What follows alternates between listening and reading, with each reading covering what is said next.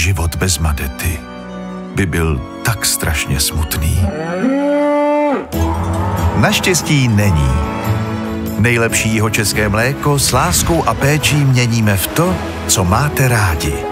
A proto všechno od Madety už 115 let chutná přesně tak, jak chutnat má.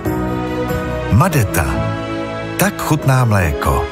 Nakoukněte k nám a přesvědčte se na otevřená madeta.cz.